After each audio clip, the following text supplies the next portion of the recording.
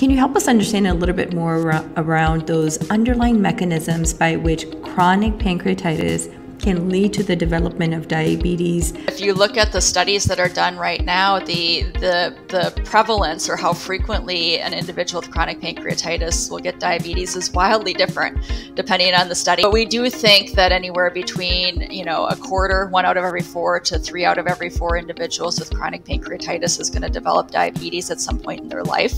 You have a genetic, uh, a very strong genetic factor that um, is probably on the order of about 75% risk long term.